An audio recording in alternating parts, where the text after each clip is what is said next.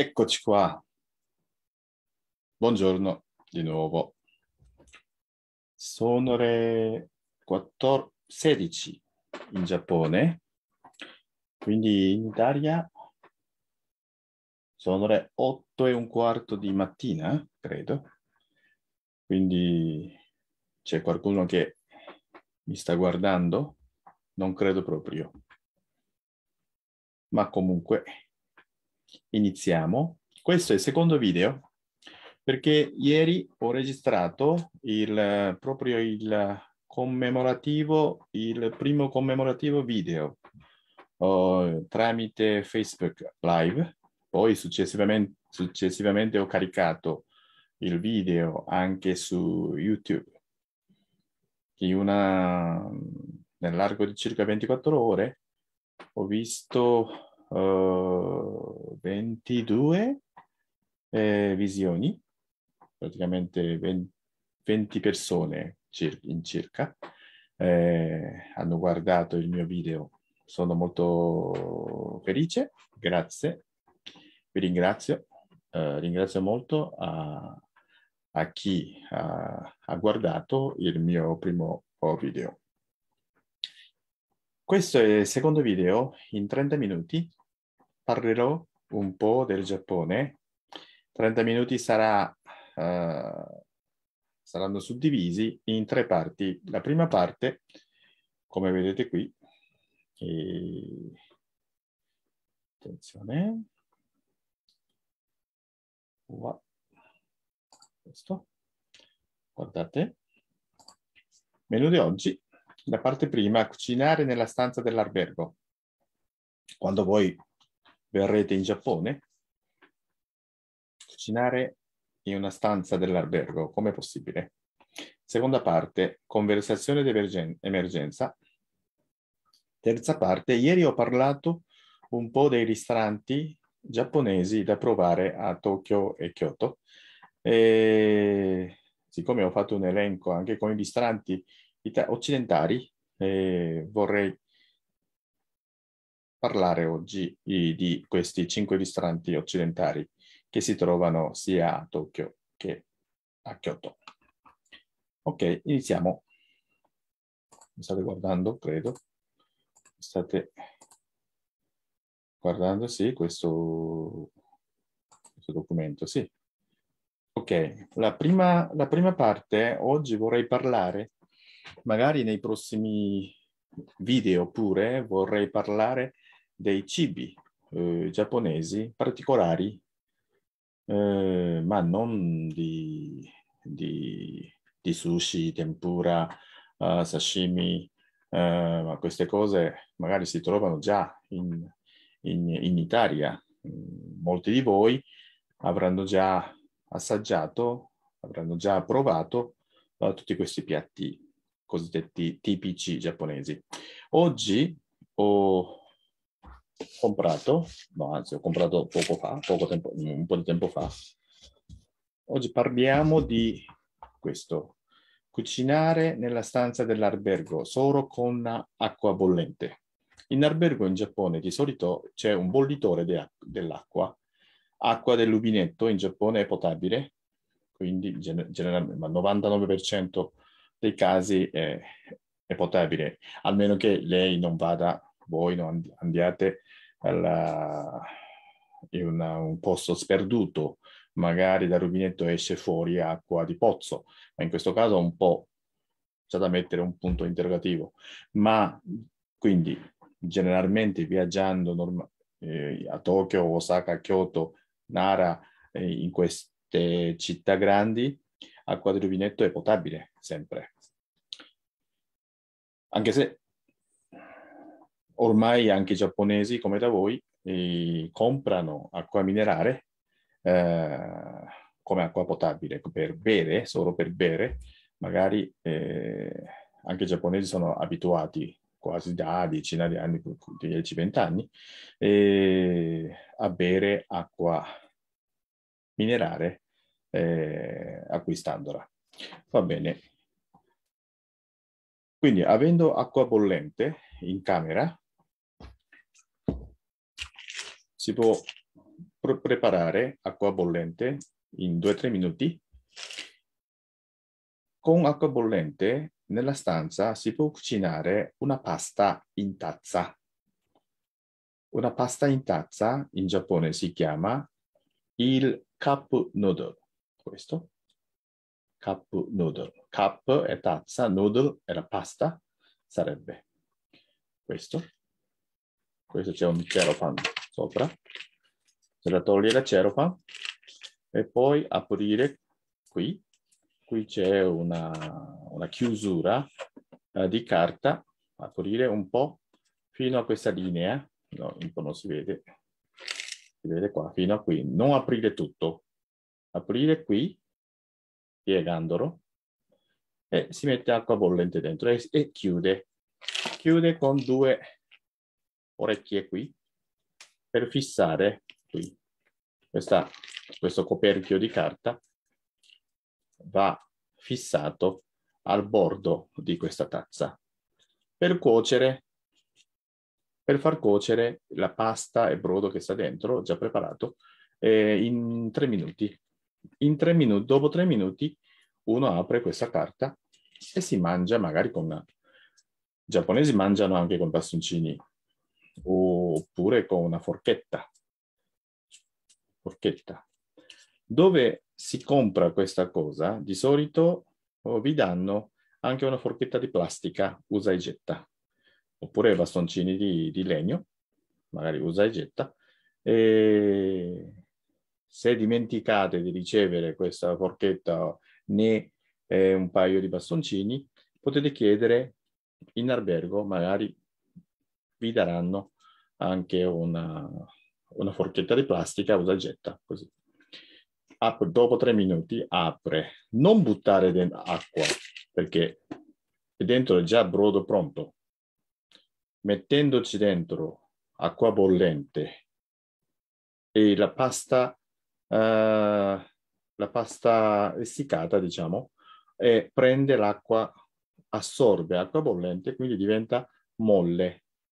E poi contemporaneamente dentro c'è una polverina di brodo che si scioglie e diventa una, sarebbe una pasta in brodo. Questo è cup noodle. Sapete quando è nato questo? In che anno, secondo voi?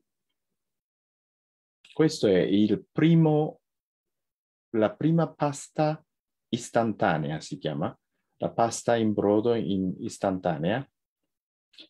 Sarebbe il ramen istantaneo, che nacque nel 1971. 71, quindi 50 anni fa. Questo nacque 50 anni fa. Milioni di miliardi, se non sbaglio, mi, miliardi di pezzi sono stati venduti in tutto il mondo negli ultimi 50 anni. Miliardi. E costa un euro e 10, 20 circa. Costa pochissimo. Ma calorie 350, 351 calorie. Brodo 24 kcal e poi pasta 327, totale 351. Okay. Questo è, è, il, primo cup, il primo cup ramen, ramen in tazza, che si chiama il cup noodle. Cup noodle è il marchio registrato, quindi solo questo si chiama cup noodle. E questa è l'origine della pasta istantanea che si cuoceva semplicemente mettendoci dentro acqua bollente. Okay? Ci sono diversi gusti. Curry, curry, gusto curry, voi chiamate curry. In giapponese si chiama kare, neanche curry, kare in giapponese. Cup noodle kare. Poi c'è anche questo. Seafood noodle, seafood seafood, gusto di frutti di mare un po', brodo un po' bianco, brodo un po' bianco, molto buono, tutti e tre i gusti, non, non, non, lo mangerei tutti i giorni, ma qualche volta al mese magari, magari buono. Si dice che fa ingrassare molto questo. Se mangi tutti, tutti i giorni puoi guadagnare tanti chili in tempo molto breve.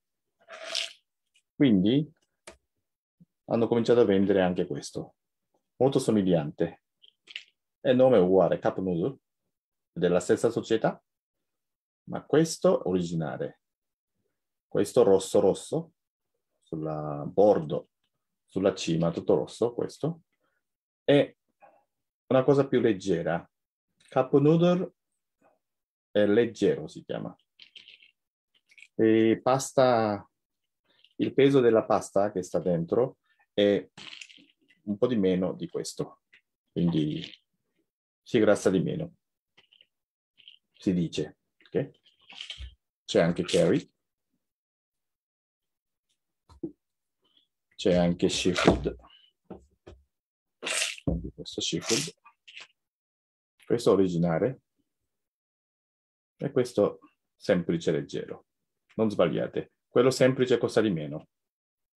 Quindi non ho mai assaggiato ancora quello leggero, ma assaggerò dopo, magari. Quindi non so com'è esattamente. Quindi vi consiglierei di comprare questo originale, originale. Okay? Va bene, quindi abbiamo parlato di cup noodle da cucinare solo con l'acqua bollente. Non è che la società produttore che si chiama la società Nishin mi ha sponsorizzato per eh, questo video, ovviamente ho comprato io. Quindi non è che, non è che sto facendo la pubblicità di questa società, ma eh, devo dire che eh, vendendo miliardi di pezzi eh, prodotti negli ultimi 50 anni, mh, mm, credo che sia una prova della qualità, qualità di, di buon gusto almeno. Ok? Questo è il caponuto.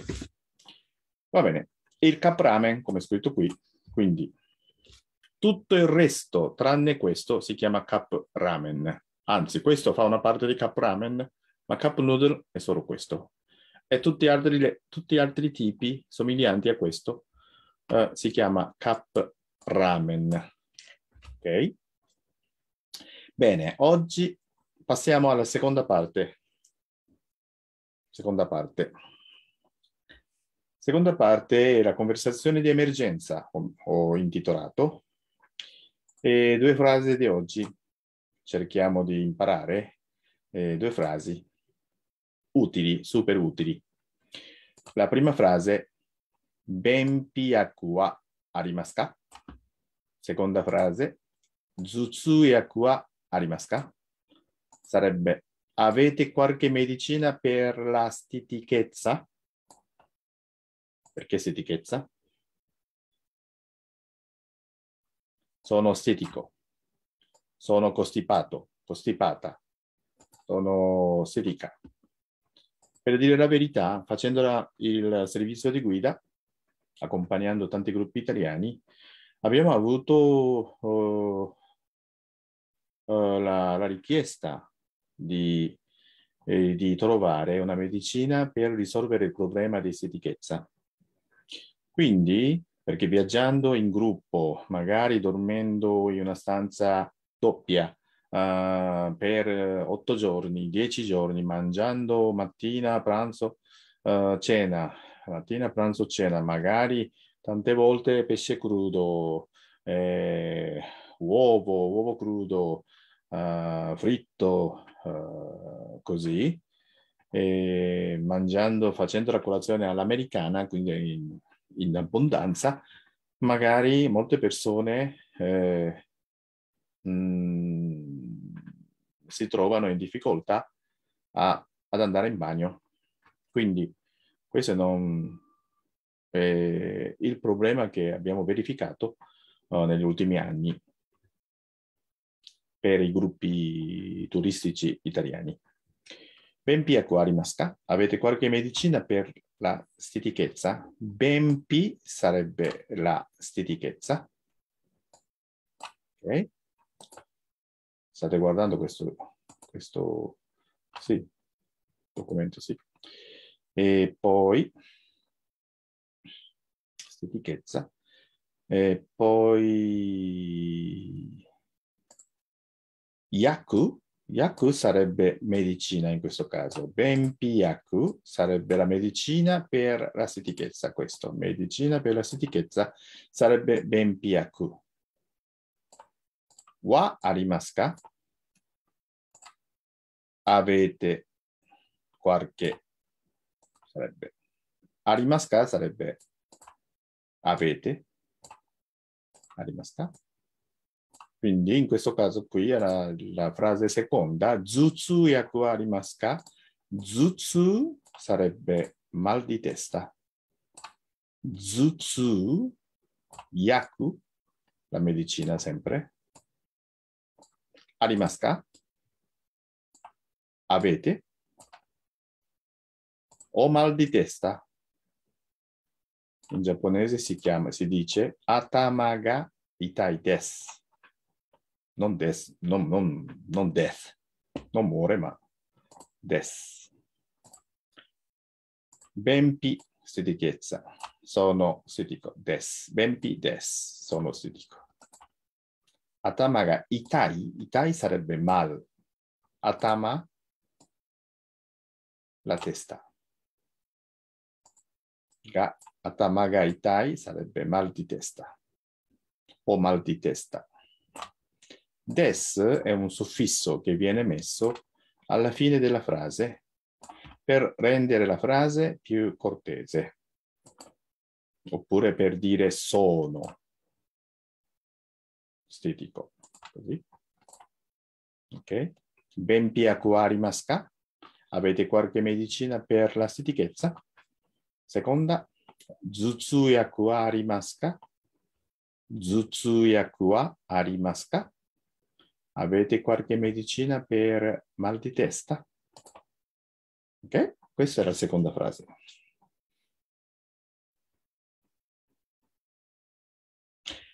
La terza parte, terza parte, i ristoranti occidentali da provare a Tokyo e Kyoto. Ieri qui ho scritto i ristoranti giapponesi da provare a, eh, provare a Tokyo e Kyoto. Quindi oggi vediamo questi due, Tokyo, questi due bulgari. Il ristorante, questo è ovviamente il ristorante italiano, il, lo, chef si chiama, credo, chef Luca Fantin. Fantin, credo, è un signore, eh, abbastanza giovane, eh, molto elegante ovviamente, molto bello, molto buono, molto particolare anche eh, i suoi piatti. Vediamo, vediamo un po' il...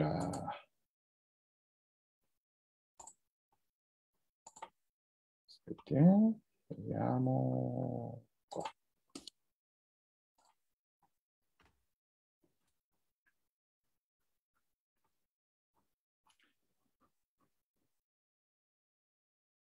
Il ristorante Luca Fante, questo, scusate, questo è un, un sito non proprio suo. E questo, questo sarebbe. Ecco, adesso mi pare che ci sia anche a Osaka, mi sembra. Sembra di sì. Il ristorante molto elegante, così, Uh, per quanto riguarda Bulgari di Tokyo, ristorante Bulgari di Tokyo, sta uh, al centro di Ginza. Questo signore credo che sia eh, Luca Fantin, bravissimo.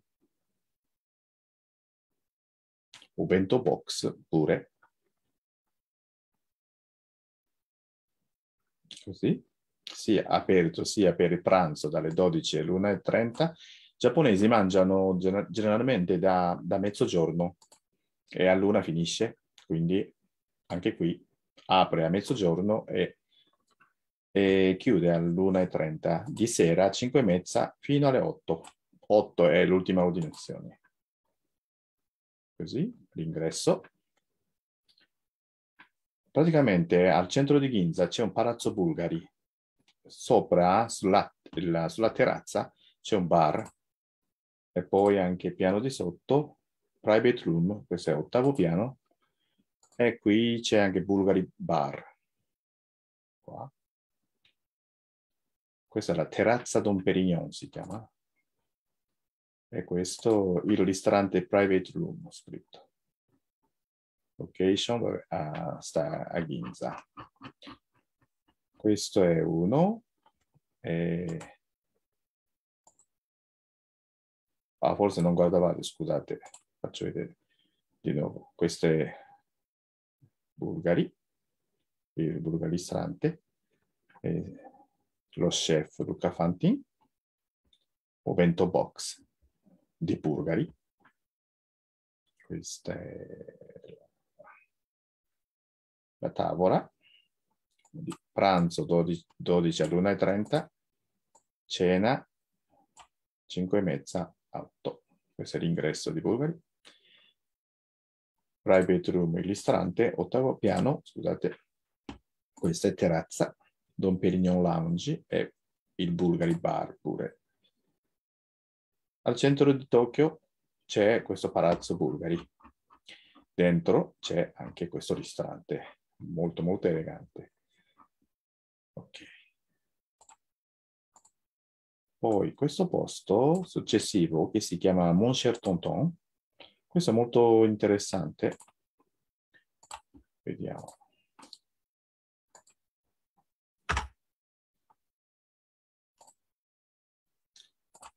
Questo è il ristorante di Teppanyaki. Teppan ha questa piastra, piastra di acciaio questa. E qui dentro si mettono i cuochi, chef, e i clienti si siedono qui intorno. È bellissimo, questa è una forma di conchiglia, conchiglia aperta. Si mangia la carne questo tipo di carne di, di primissima qualità e viene cotto, praticamente una bistecca che viene cotta su questa piastra in questo modo. Ci sono anche delle altre tavole, ad ogni tavola viene il cuoco e cuoce davanti a sotto gli occhi dei clienti. Questo è Mon Tonton, veramente elegante, la bistecca tipo questo carne tipo così. Saroin, Chateaubriand e anche Aragosta. Questa è abalone e verdure, eccetera. Piuttosto semplice perché si cuoce sulla piastra, sotto gli occhi, sale, pepe e basta. È molto elegante, molto buono. Poi passiamo a Kyoto. Questo è, questo è il ristorante italiano a Kyoto che si chiama Sodo, Higashiyama Sodo. Ristorante crea tipo cucina creativa italiana, tipo così. C'è lunch, afternoon tea, dinner. Vediamo se c'è qualche tipo così. Pranzo. No, sono dolci. Special course. Le porzioni sono piccole, ma anche come da voi il ristorante elegantissimo che offre eh, la cucina creativa italiana, magari hanno diverse portate, ma ogni portata è, è piccola portata. Porzione, scusate. Questo è lanci. Dinner, vediamo. Dinner, così. Molto minimalista.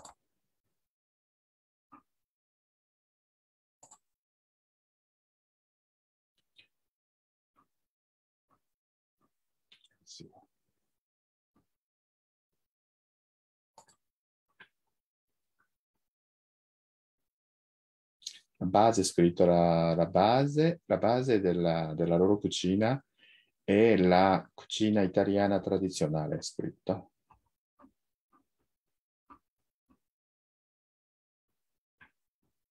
La base, anche se non, ci so, non, non, non sembra che ci siano le paste. Queste sono questo è un ambiente intorno no, anzi è dentro questo ristorante, è ristorante molto grande questo, molto elegante, molto chic.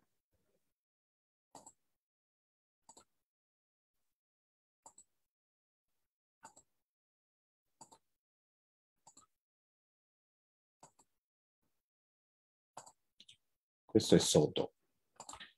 Poi questo invece, pittoresque. Pittoresque è un ristorante che si trova all'interno di un albergo che si chiama Okura. Kyoto Hotel Okura si chiama. Kyoto Hotel Okura. Albergo di lusso. Al piano di sopra, qui, mh, diciassettesimo piano, c'è questo ristorante.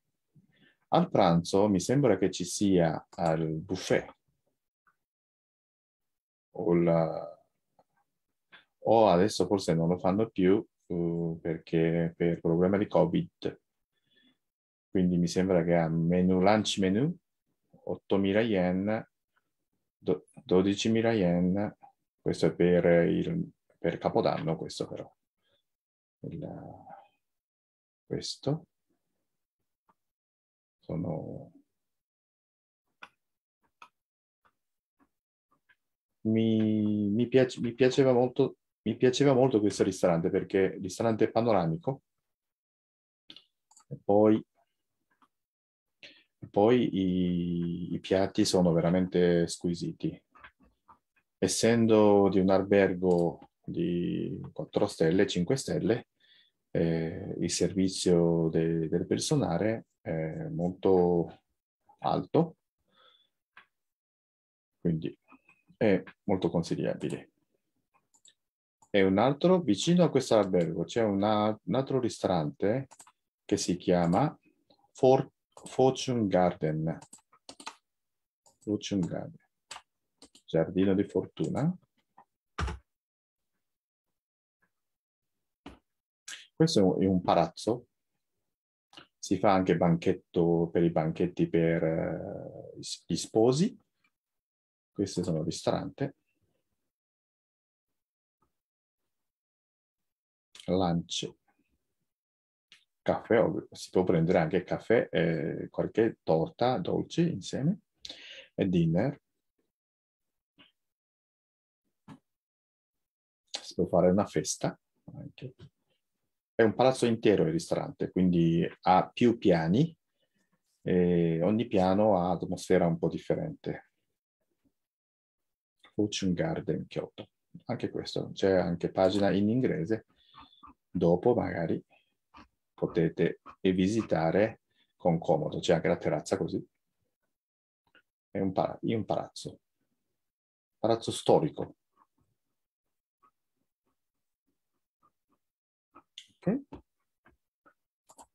Va bene, allora abbiamo parlato di cinque ristoranti occidentali. Dopo, magari nei prossimi video, parlerò di altri ristoranti, perché i primi questi, ieri e oggi, ho parlato di ristoranti di, di categoria molto molto alta, perché eh, questi ristoranti spesso venivano, venivano utilizzati per i gruppi VIP oppure eh, gruppi mais eh, per le aziende magari. Quindi, però ovviamente si può, si può andare anche eh, privatamente in due persone, tre persone, quattro persone, non c'è nessun problema in tutti questi ristoranti. Ok, oggi mi fermo qui. Abbiamo parlato uh, oggi di cup noodle. Torniamo indietro, abbiamo parlato, abbiamo parlato di cup noodle, abbiamo parlato di conversazione d'emergenza, stetichezza e mal di testa. Poi ristorante occidentali da provare. Tokyo e Kyoto. Bene, mi fermo qui. Ci vediamo presto. Grazie per aver visitato, aver, eh, avermi accompagnato fino alla fine. Grazie mille. Ciao.